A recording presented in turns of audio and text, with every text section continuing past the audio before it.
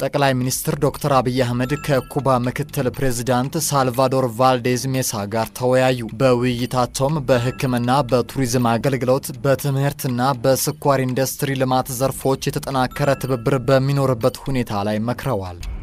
የኢትዮጵያን የወደብ አማራጮች የማስፋት ስራ እየተከናወነ መሆኑን የትራንስፖርትና ሎጂስቲክስ ሚኒስቴር አስታወቀ።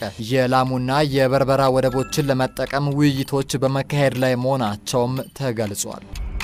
ድርቅና የጎርፍ አደጋዎች በተከሰቱባቸው አካባቢዎች ለሚኖሩ 7.3 ሚሊዮን ዜጎች የሰብአዊ እርዳታ ለማድረስ እየተሰራ መሆኑን የአደጋ ስጋት ስራ አመራር ኮሚሽን ገለጸ።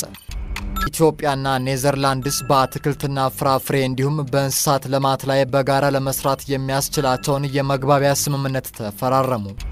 በአማራ ክልል ተከስቶ ከነበረው ሁከትና ግጭት ጋር በተያያዘ በሽብር ወንጀል በተከሰሱት በነ ዶክተር ወንደሰን አሰፋ ክስ ላይ የሟቾችና የተጎጂዎችን ዝርዝር በማካተት ክሱ ተሻሽሎ እንዲቀርብ ታዘዘ።